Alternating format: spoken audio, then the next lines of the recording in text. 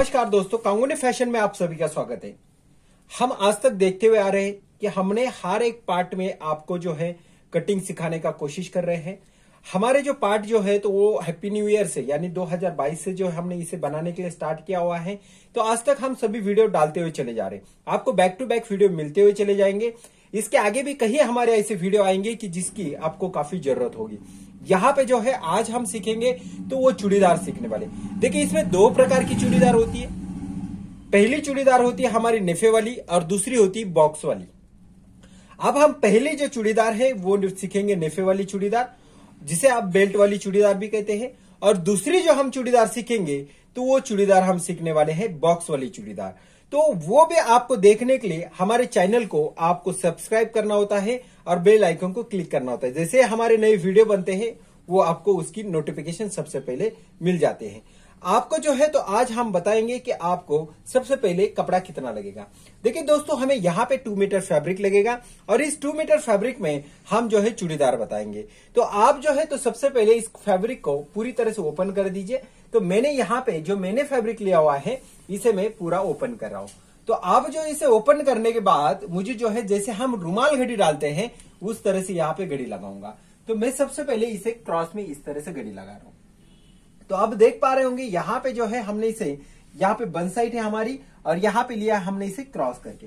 अब जो है तो मुझे यहाँ पे समझना है कि मुझे मेज़रमेंट किस तरह से डालना होता है। तो सबसे पहले हम जो है मेज़रमेंट समझ लेते हैं। यहाँ पे मैंने लेंथ जो ली हुई है तो वो मेरी 39 इंच की है। उसके बाद में मुझे जो है तो बॉटम डालना है तो मुझे साढ़े नौ इंच का बॉटम डालना है। उसके बाद में मुझे माप डालना है तो वो डालना है मुझे घुटने का मेज़रमेंट में 16 इंच लूँगा। और आप मुझे सबसे लास्ट में डालना है, वो डालना है हिप का मेज़रमेंट तो हिप मेरा बयालीस इंच का है। तो यहाँ पे आप देख सकते इतने मेज़रमेंट मैंने लिए हुए। और आपको भी इतने मेज़रमेंट इसमें लगेंगे। तो सबसे पहले हमें जो है, यहाँ पे कॉर्नर पे आना है। कहाँ पे आना है हमें? कॉर्नर पे आना है। अब देखिए, यहाँ पे जो कॉर्नर होता है ना, यहाँ पे आपका बॉटम अब बॉटम है कितना? साढ़े नौ। तो साढ़े नौ का आधा कितना होता है? तो होता है यहाँ पे हमारा पौने दस। तो यहाँ पे पौने दस और आगे मेरी डेढ़ इंच की सिलाई। इतनी मेज़रमेंट यहाँ पे बैठ रहा है। तो यहाँ पे आप क्या करेंगे? सीधी लाइन खींचेंगे। देखिए, हम यहाँ पे तो लाइन नहीं खींच सकते क्योंकि यहाँ पे कम होते हुए जा रहा है। तो जहाँ पे हमारा बॉटम आ रहा है, वहाँ पे हमने लाइन खींची। इतना लगेगा मुझे फोल्ड के लिए। अब देखिए, सबसे पहले हमें यहाँ पे डालना होता है चुनी। जिसे हम इकट्ठा एक एक जगह पे जमा करते हैं, वो होती है हमारी चुनी। अब जो है, यहाँ से मैं सीधा चुनी का माप डालूँगा। अब मुझे जो है, चूड़ीदार के लिए चुनी मैं हमेशा लेता हूँ तो वो मेरी पंद्रह इंच की। देखिए, कम से कम आप करेंगे बात तो यहाँ पे हो जाती दस और ज़्यादा से ज़्यादा बीस पच्चीस इंच होता है। तो मैं कॉमन जो चुनी होती है, वो लेता हूँ और वो है मेरी पंद्रह। तो मैं पंद्रह इंच के ऊपर मेज़रमेंट डालने के बाद ये मैं सीधी लाइन करूँगा। और इसके ऊपर भी मैं अपना बॉटम ही डालूँगा। और यहाँ पे डेढ़ इंच की सिलाई। तो आप देख पा रहे होंगे दोनों मेज़रमेंट सेम है और यहाँ पे ये लाइन भी मैं सीधी यहाँ पे खींचूँगा। अब ये लाइन होने के बाद मुझे डालना है लेंथ अब देखिए मैं थोड़ा सा इसे नीचे लेता हूँ क्योंकि काफ़ी लंबा बन जाता है। इसलिए जो है मैं यहाँ पे इसे कम करवा के लूँगा, क्योंकि कैमरा का फोकस जो है वहाँ तक नहीं पहुँचता है, इसलिए कम कर रहा हूँ। अब देख देखिए, यहाँ से मुझे मेज़रमेंट डालना। अब मेरी लेंथ है कितनी? तो वो मेरी लेंथ है थर्टी नाइन इंच की। तो अब मुझे क्या करना है? थर्टी नाइन में से सीधा यहाँ पे सेवन इंच माइनस कर देना। ये एक, दो, तीन, चार, पाँच छ सात। तो मेरा थर्टी टू इंच का लेंथ रहेगा। तो सीधा मैं यहाँ से यहाँ पे थर्टी टू के ऊपर मार्किंग करूँगा। और ये लाइन मेरी बनेगी सीधी। अब देखिए, मैंने ये सीधी लाइन दे दी है। अब मुझे क्या करना है? यहाँ पे डालना है आसन का माप। या तो फिर जो हमारा नेफा होता है, जो हमने माइनस किया है, उसे एक तो सीधा ऊपर छोड़ दीजिए और यहाँ पे आसन डाल दीजिए। मैं इसके ऊपर आसन डालूँगा पंद्रह इंच का और यहाँ पे मैंने पंद्रह इंच का मार्किंग कर लिया। अब मुझे क्या करना है? इन दोनों का बीच लेना है और मैं दोनों का सेंटर लूँगा। यहाँ पे आ रहा है साढ़े तेईस इंच। तो साढ़े तेईस का अगर मैं आधा करता हूँ तो वो मेरा हो जाएगा पौने बारह इंच। तो मैं पौने बारह के ऊपर मार्किंग कर रहा हूँ पहले। ये मेरा सेंटर बनेगा इन दोनों का। लेकिन मुझे घुटना जो होता है तो थोड़ा ऊपर लेना, यानी लगभग मैं दो इंच इसे ऊपर लूँगा और यहाँ पे करूँगा घुटने का मार्किंग तो यहाँ पे घुटने का मार्किंग होगा, लेकिन हमने घुटना कितना लिया हुआ है? सोलह। तो सोलह का आधा होता है हमारा आठ। सीधा सीधा हम यहाँ पे आठ डालेंगे और आगे डेढ़ इंच की सिलाई मार्जिन लेंगे। तो आप देख सकते हो, यहाँ पे जो है तो ये लाइन हमने कर ली है। अब हमें जो है, आना है सीट के पास। तो देखिए, ये हमारा पूरा सीट है। आप देख सकते हो। इस सीट के अंदर सिंपली आप क्या करेंगे? छह इंच ऐड करेंगे। कितना इंच ऐड करेंगे? छह। तो होगा कितना हमारा? तो हमारा होगा यहाँ पे 48 इंच। कितना होगा? 48 तो सिंपली आपको यहाँ पे क्या करना है? इस 48 का चौथा भाग कर लेना है। कितना भाग करना है आपको? चौथा भाग करना है। तो हमारा चौथा भाग जो आएगा तो वो हमारा कितना आने वाला है यहाँ पे? तो चौथा भाग आएगा हमारा 12 इंच। तो हम क्या करेंगे? यहाँ पे 12 और यहाँ पे लेंगे डेढ़ इंच ज़्यादा। तो ये हमने डेढ़ इंच ज़्यादा लिया हुआ है। यहाँ पे भी हम वही मार्किंग करेंगे और ये लाइन देंगे सीधी यहाँ पे।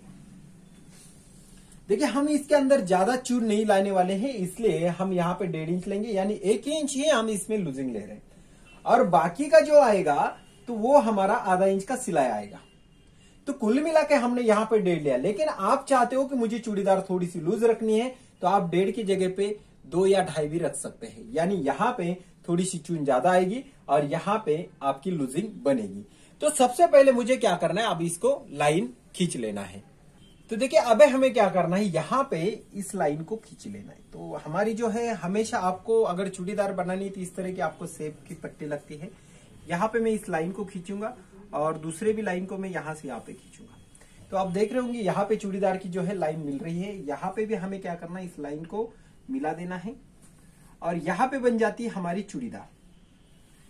तो अब हमें क्या करना है, इसे कट कर लेना है और कट करने के बाद ये किस तरह से दिखता है, ये हम आपको दिखाएँगे।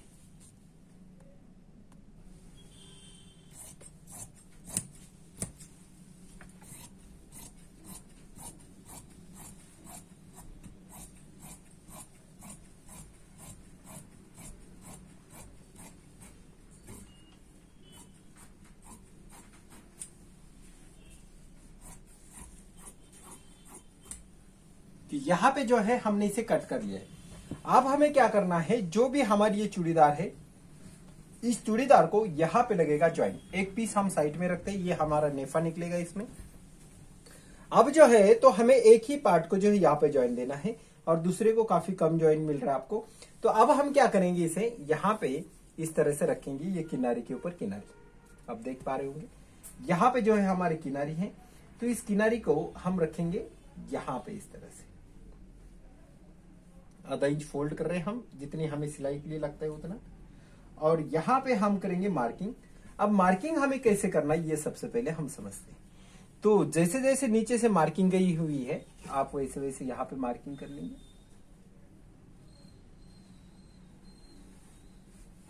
तो ये हमारी मार्किंग हो गई है, हम यहाँ से इसे कट करेंगे।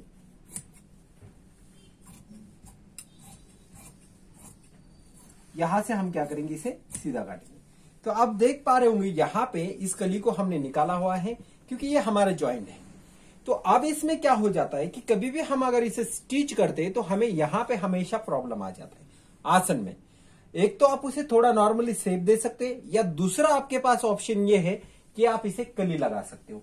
तो आप ये कली निकालेंगे कैसे, ये हम यहाँ पे समझ लेते हैं। कली को आपको कैसे डालना होता है?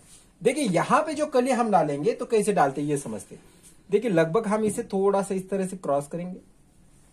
और ये क्रॉस करने के बाद हमें क्या करना है? यहाँ पे जो हमने आसन का मेज़रमेंट लिया हुआ है, देख सकते यहाँ से यहाँ तक। तो हमारा आसन का मेज़रमेंट है कितना? तो लगभग ये है नौ इंच। तो नौ में से हम दो इंच कम करेंगे, यानी सात। तो सीधा यहाँ से यहाँ पे हम सात इंच के ऊपर मार्किंग करेंगे। और यहाँ पे थोड़ा सा राउंड लेंगे। अब ये आपके दिमाग में सवाल आ रहा होगा कि, सर, यहाँ पे हम कितना लिए? तो हम बताते आपको कि यहाँ पे कभी भी आप लेंगे ढाई तक, ढाई इंच तक लेंगे। आप दो भी रख सकते हैं, लेकिन आपको ज़्यादा बड़ा नहीं बनाना है, आपको नॉर्मली इसे रखना होता है, और यहाँ से हम देंगे से थोड़ा सा नॉर्मली हमने राउंड किया है तो आप देख सकते यहाँ पे हमारी बन गई है कली। अब आपको इसे हम स्टिच कैसे करते वो भी हम आपको समझाएँगे। तो उसके लिए आपको जो है कंटिन्यू हमारे जो है चैनल पे रहना होता है तो आपको कटिंग के साथ हम स्टिचिंग भी बताएँगे। यहाँ पे बन गई हमारी कली, हम रखते इसे साइड में और अब निकालते हम नेफा। अब देखिए, नेफे के लिए काफ़ी हमारे पास कपड़ा बचा हुआ है। नेफे के लिए हमारे पास काफ़ी कपड़ा बचा हुआ है। तो हमने सिंपली समझ लिया था कि हमें नेफा कैसे निकालना है। तो हमने क्या बताया था आपको 42 हमारा माप है सीट का, उसमें हम छह इंच प्लस करेंगे तो ये होगा हमारा 48 इंच। तो अब आपको सिंपली उस 48 का हाफ़ करना यानी आधा करेंगे। तो 48 का आधा करेंगे हम तो कितना होगा हमारा? तो यहाँ पे तो हम डालेंगे यहाँ पे 24 का मेज़रमेंट आप देखिए 24 इंच ये होता है हमारा आधा, इसमें हमें एक इंच की लगेगी सिलाई मार्जिन यहाँ पे तो हमारा ज्वाइंट है, इसलिए हमें यहाँ पे कोई मार्किंग की ज़रूरत नहीं। अब हमने नेफा छोड़ा हुआ है सात, उसमें हम करेंगे दो इंच ऐड तो ये हो जाएगा नाइन इंच। और यहाँ पे ये भी हो जाएगा नाइन इंच और ये हम सीधा इस तरह से नाइन का मार्किंग करते हुए चले जाएँगे। और अब हम यहाँ पे इसे काटेंगे। तो यहाँ पे काटने के लिए जो है आप जो मार्किंग किया हुआ है, वहाँ से काटेंगे। आप अंदर से नहीं काटने वाले। और ये हम सीधा इसे कट कर लेंगे। तो आप देख सकते हो, यहाँ पे हमने निकाला है नेफा। ये हमने निकाला है आसन का जो मैन्यू होता है वो। और ये हो गई हमारी पूरी तरह से चूड़ीदार कटिंग। तो आप इसी तरह से वीडियो देखने के लिए आप जो है सब्सक्राइब कर लीजिए चैनल को। और नेक्स्ट वीडियो जो बनेगा हमारा, वो बनेगा बॉक्स वाली चूड़ीदार। यानी इससे पहले मैं एक टॉप का बनाऊँगा डायग्राम। सॉरी, इससे पहले मैं एक टॉप जो है, वो बनाऊँगा। और उसके बाद में हम बॉक्स वाली चूड़ीदार बनाएँगे। हम आपको स्टेप बाय स्टेप सिखाते हुए चले जाने वाले, एक होगा कुर्ती, एक होगा सलवार। इसी तरह से हमारे सभी पार्ट आपको मिलते हुए चले जाएँगे। अगर आपको इससे भी और अच्छे अच्छे कोई वीडियो चाहिए होते हैं तो आप जो है, आप कमेंट में लिख सकते हैं, और वो जो है, मैं कोशिश करूँगा आपको उसका वीडियो डालने का।